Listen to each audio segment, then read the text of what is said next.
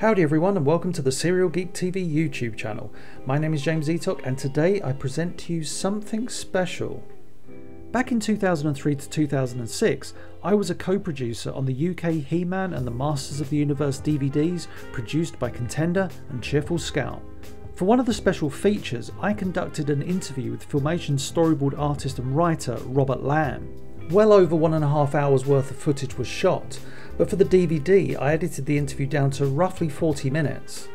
A while back I mused that showing Rob's interview in all its glory with new accompanying visuals would be a rather wonderful addition to this channel.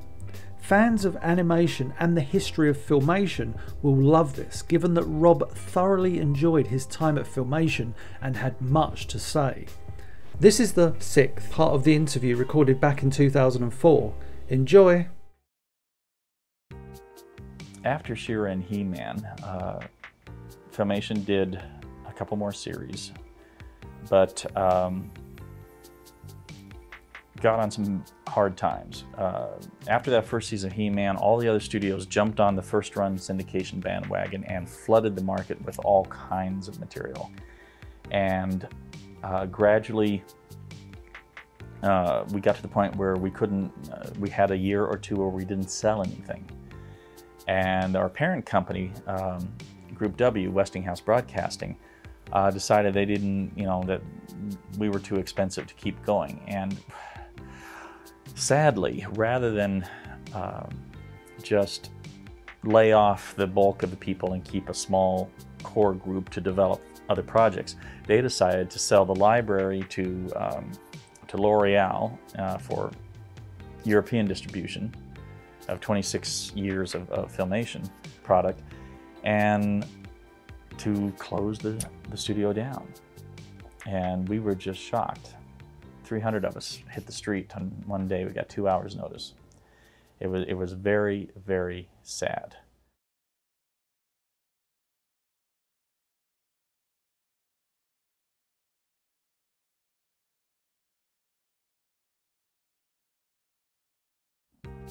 And uh, at that point, I made a change and, and um, uh, left the animation industry and, and moved to Nashville, Tennessee, and, had, and started a career here in video and advertising and uh, software development. And uh, uh, though I still kept in contact with, with people out west and did storyboards for Ruby Spears and uh, Disney TV animation, Darkwing Duck worked on, on that show and Worked on uh, the Cowboys of Moo Mesa for ABC and Widget the World Watcher, that was uh, for Calico uh, Creations.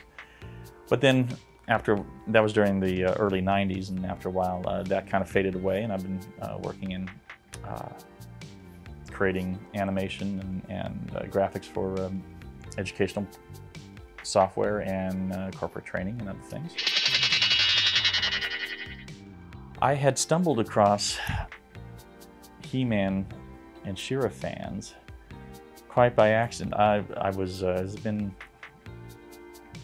it was in 1998. I uh, was kind of first getting on the internet and, and looking around and I uh, did a search on Filmation thinking maybe I could get in touch with some of my old buddies.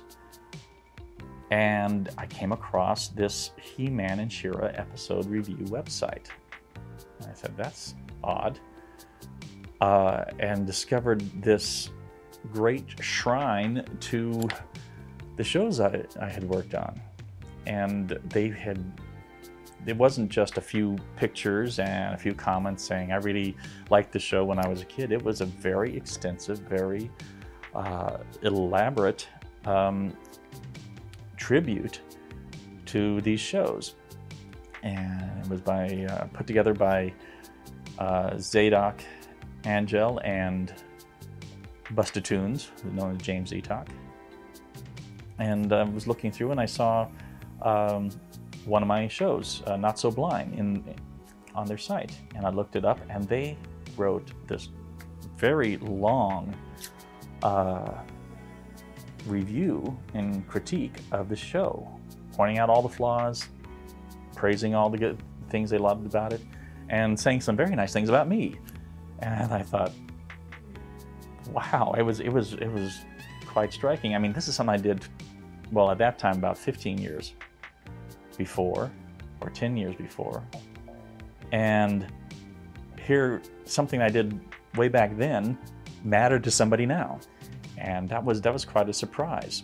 And I, I wrote a little email to them and just saying, thanks for the kind words. I enjoyed working on the show. I'm glad you liked it. And an email came back just all excited about uh, getting in contact with me and wanting to know all things about the show, a lot of things that I, I said here. And that began a uh,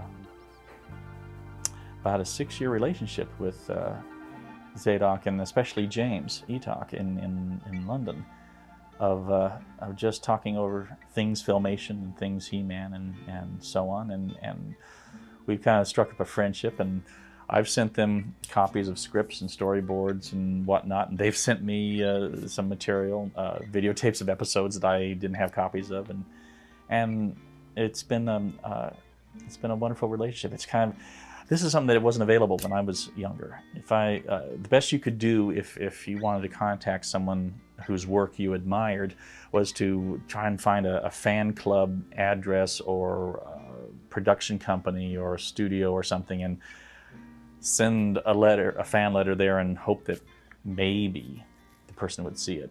And more, most likely they didn't. But with the internet and with email, you have the opportunity of, of contacting people that, that actually create the things that, that you enjoy. And that's, um, uh, that could be a, a book author, a, a, a singer, an actor, filmmaker.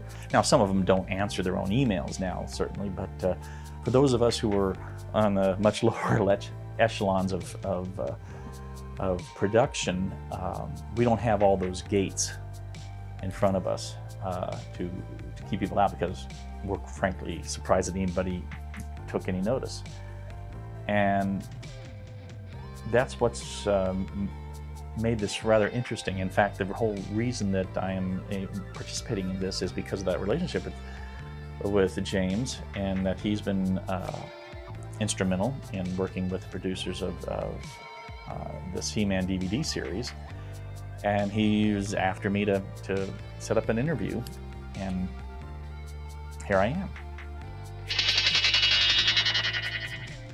I have been amazed to see what a what a, a strong uh, affection there is in the fan community for He-Man and She-Ra. And I think it came as a surprise to Mattel, but the end result has been uh, a brand new TV series. And I took a look at it, and there were some things I liked about it. There's some things I didn't think worked as well. It was kind of a mixed bag. But it was good to see that the property is still alive. And that's neat. I guess the, the, the thing that, that sticks in my mind the most is uh, always to do your very best job because you don't know who's looking at it and when you might be held accountable for it at a later date. And it's been it's been interesting. It's been interesting trying to remember back 20 years ago what things were happening then and I'm, I've left out more than I've included. But uh, I think this should do it. And I had the power back then. May you have the power now.